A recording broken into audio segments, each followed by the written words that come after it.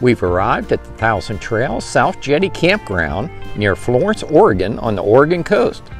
Let's go check it out.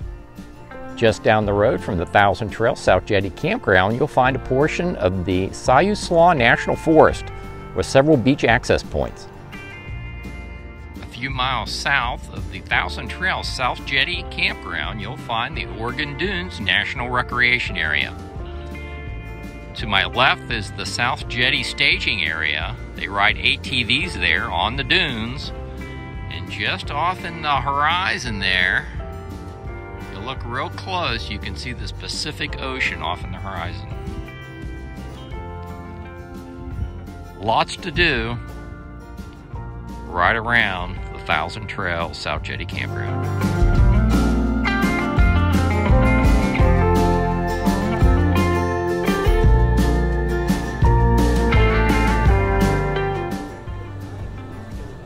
After you check in and you pass through the gate, you're going to have a decision to make. You can turn immediate right, immediate left, or go straight ahead. I'd recommend going straight ahead.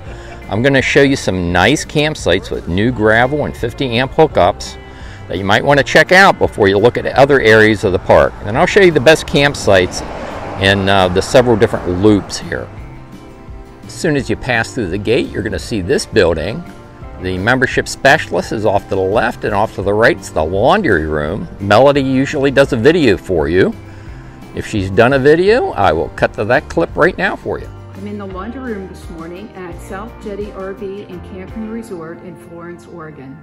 They have eight washers and it takes quarters or you can download this app. Depending on the cycle you choose, you're looking at $1.50 to $1.75.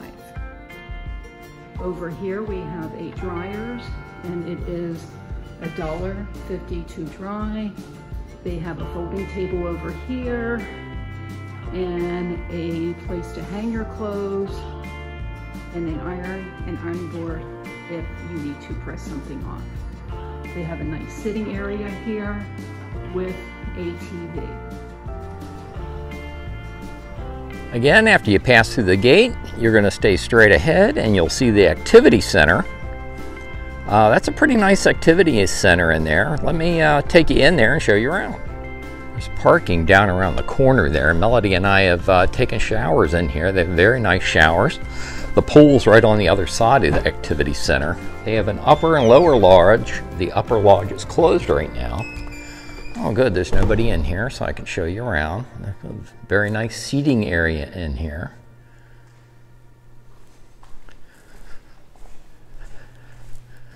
And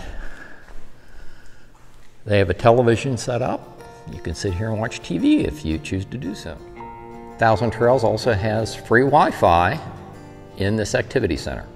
There's the lodge that we were just in. There's a nice deck that goes around the backside of the lodge. The pool's closed right now. Uh, we're in the middle of October of 2021 when I'm doing this video. Uh, but they also have a hot tub and the hot tub is operational. There have been people in here all week. Just down from the activity center and across from the pool, they have an area for you to disconnect your toad. There's a gentleman uh, undoing their toad right now. As promised, I'm going to take you down the main portion of the campground. We're going to go past my site and I'm going to show you where I wish I would have camped if I knew those sites were back there. So that's the direction I just walked from. Melody and I are in setup. We are set up in site 119. That's a quick look at our site. Um, when we when we left Whalers Rest, Thousand Tra Trails Whalers Rest, that kitchen slide that you see that's extended out, that was stuck in when I left Whalers Rest. And uh, we ended up having to go through an ordeal to get that uh, a freight cable repaired so that we could use our, our kitchen slide, we were actually unable to get in our refrigerator when we first arrived at the Thousand Trail South Jetty campground where we are now. And um, So we did a separate video uh, entitled uh, RV Life uh, RV Slide Broken. And so you can go to our YouTube channel, check out that video if you haven't seen it. See Melody and Milo have come out. The sun is out today, so we're happy to see the sun. I'm going to take you down right now. I'm going to show you those, um, there, there's two or three very nice, newly graveled, new electric boxes, 50 amp sites, completely flat. Wish I knew they were there before we uh, selected this site. I'm going to take you down there right now, and we'll come back and we will chat with Melody and Milo. Here's one of the sites that I like, site 149. Look how deep this site is. My fifth wheel would go all the way back in here and have enough room to park the truck with room left over.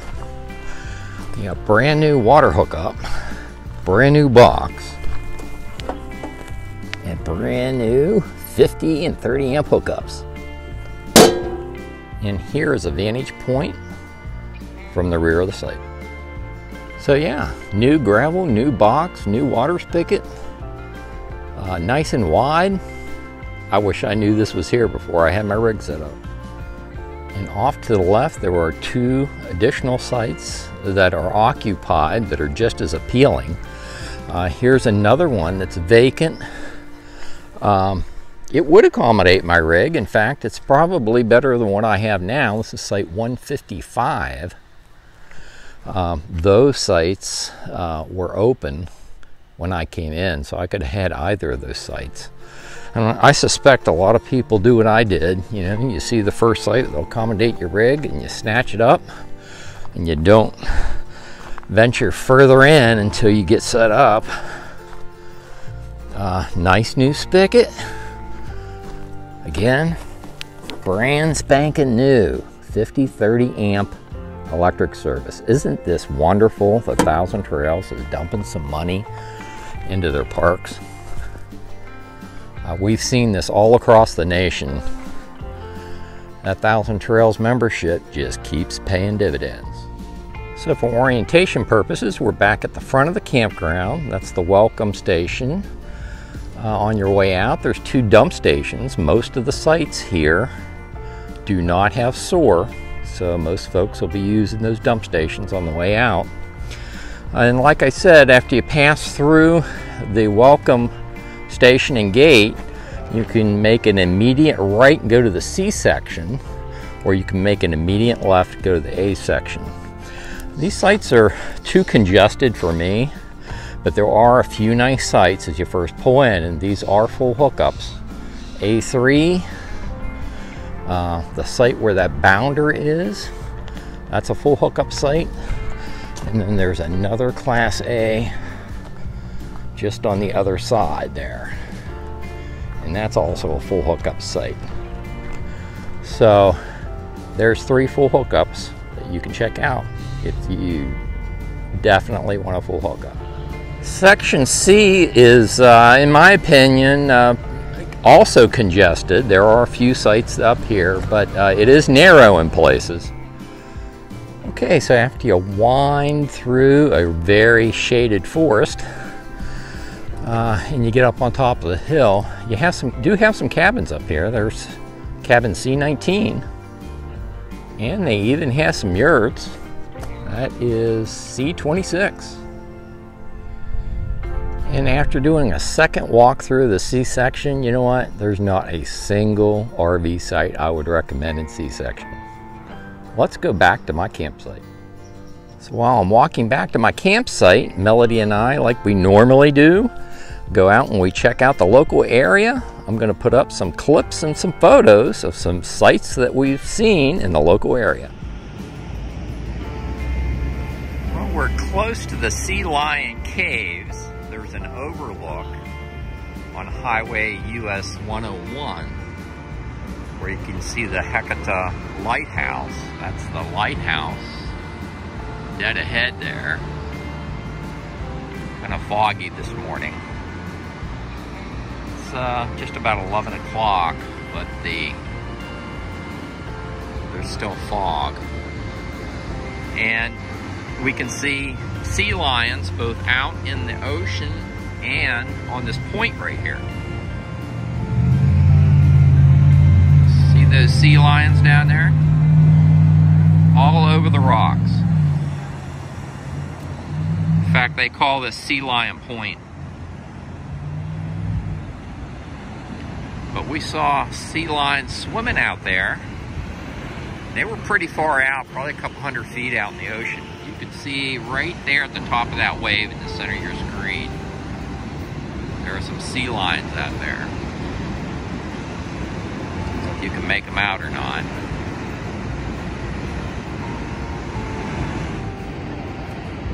Here's another perspective from US Highway 101 of the Oregon coast, just north of Florence. Well, hon, what did you think of South Jetty Thousand Trails?